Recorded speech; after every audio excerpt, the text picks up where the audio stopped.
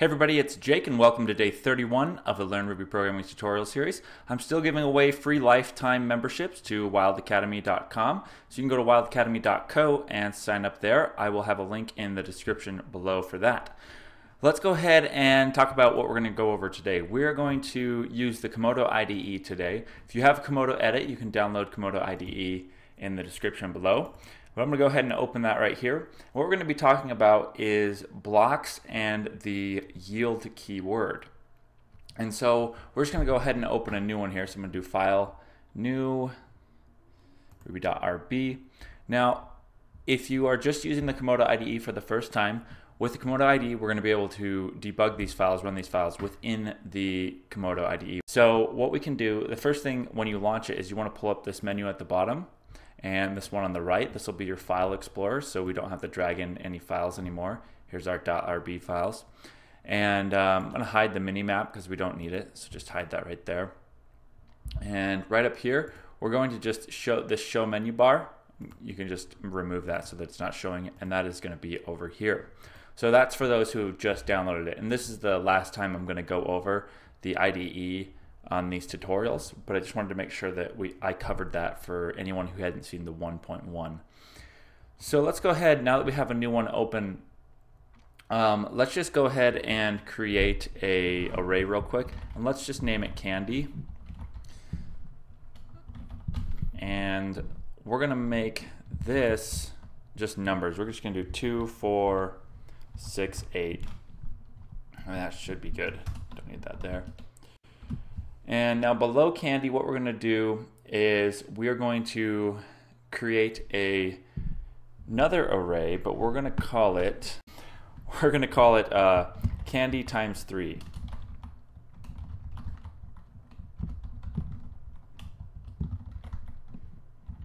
And we're going to set it equal to candy dot map.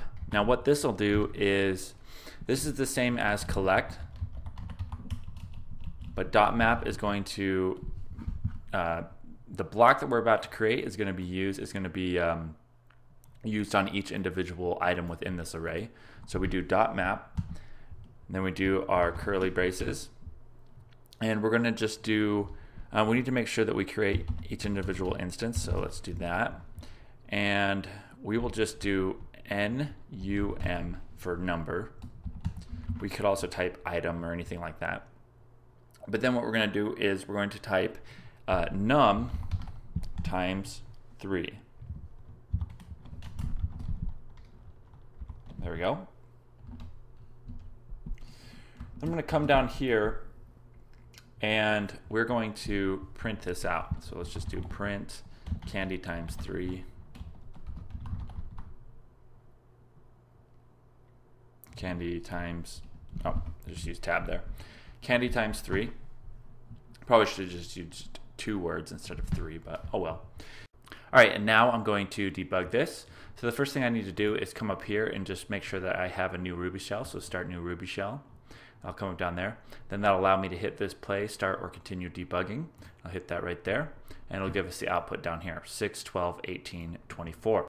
So what this did was it took all of the individual items in this array and it times them by 3. So you have this output 6 here, uh, 1824. So the reason I went over that is to just kind of show you the format of the block because we're going to be using the blocks in this method that we're going to define. All right, so coming back in, we are going to create a new method, so def, and we're going to name this one triple.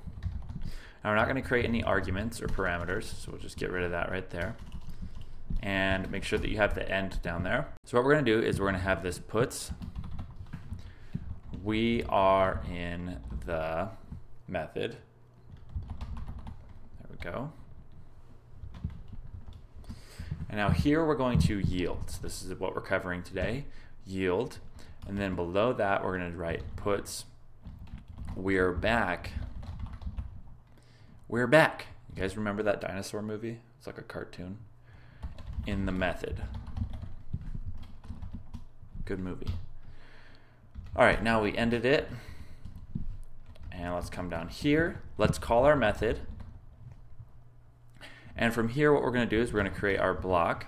Now, what this yield is going to do is it's going to yield to what we have in the block down here. So we're going to puts, excuse me, block coming through.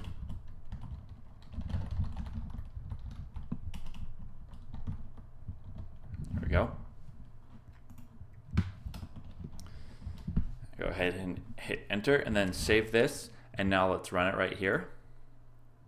And you can see here, it says we are in the method. Uh, it's, it's showing this top, the, the top array, but we are in the method, excuse me, block coming through, and then we're back in the method. So what happened here was we put out this first line, we are in the method, and then we yielded to whatever is in the block when we use our method right here, triple. So we yield there, it'll, it'll run what's in the block, and then we come right back out of it, and then we put we're back in the method. So we are in the method, excuse me, block coming through, and then three, we're back in the method. All right, so let's do this same thing, but let's use uh, arguments or parameters on this next one. So go ahead and just delete that right there. All right, so let's create a new method, and we're going to call this one introduction. And we're going to create some arguments, parameters. We're going to make them uh, name. And below that, we're going to call a yield first off. There we go. And we are going to use name there right after our yield. And then what we're going to do is we're going to do a yield, but we're going to call a different name out. So we're going to do Amanda. We will do yield again, name again, and yield again, yield again, and we actually need to come up here to Amanda. We need to do a string inside of it. There we go. And down here, we're going to do John. There go. And let's end it. All right, so let's call our method. Let's do introduction. And for our argument, we'll do my name, Jacob, or you can do your name, and a block. And then let's go ahead and make the parameter n. We'll do my name is. And then let's create let's do the hash curly bracket brackets. N. Do an exclamation there. All right. Oh, let's come back up here. We're gonna do puts. Almost forgot that. There we go. Puts my name is and then n. All right so go ahead and save that. And then we're going to play it right there so let's see what I did wrong here it says uninitialized constant Jacob name error. So what I didn't do is I did not make this a string. So just come in here, put the quotes in. Now save that again. Let's run that. And now we have it. So it says 6, 12, 8, 24. That's all up there, but we're focusing on this. My name is Jacob. My name is Amanda. And so you see this, this, uh, this pattern going on. So let's see what exactly happened here So we have the yield name. So what we're doing is, is we're yielding to the block, which is put my name n.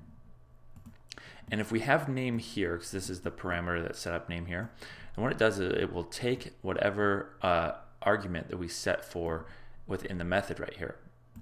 But if we type our own right here, Amanda, what it does is instead is it will yield to the block here, so puts my name is, but then for this argument, it will take this argument instead. So it'll swap out. Instead of using Jacob, it will use Amanda. So this first line, it just yields to the block and then yields to the name, which is our, which is set up here. Now we could have named this anything. We could have named this, um, we could have named this a flower or whatever. I don't know. That's horrible. Wow, I don't know where I pulled that out of. Um, we could have named it object, right? We make this object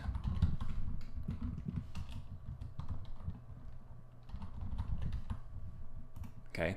And then down here, what it will do is it will take whatever argument we have right here, as long as this introduction's original argument is here, because what it's doing is, is it's yielding to um, the introduction that we have down here. Does that make sense? And so we could change this to, let's just do Mike. Go ahead and save it hit play again. So my name is Mike. My name is Amanda. My name is Mike. My name is John. So you see, yielding to the block. So the re- so let's just do this right here. Nice. So let's do this. So puts nice to meet you. Go ahead and save that. And Play that again. So it says, My name is Mike. That's this one right here. We've put in Mike down here. And then we put nice to meet you. So we've jumped out of the block to puts this in. Then we jumped right back in to the method yield. We yielded again right back over to the block. The block took over, but we didn't take the Mike argument because we had set this one to Amanda. So that's why we got my name is Amanda. So I hope that's making sense. Um, I know that the yields and the arguments parameters can be a little bit confusing, but that's why I'm kind of double covering it so that it can make so that you you've got it. If you have any questions, please ask in the comments below. Hope you guys enjoyed today's lesson. I'm going to do a quick book recommendation. This is called Cracking the Coding Interview. I'll have a link down below in the description to it. But uh, what it is is that we'll go over questions that you could have when you're applying to be a programmer somewhere. And by going through this, it will help you to know what it is that you're going to be up against uh, in many of the interviews that you go to. So go ahead and check that out. You can read the reviews. As I said, it has really good reviews. And uh, yeah, I will talk to you next time in day 32 of the Learn Programming tutorial series.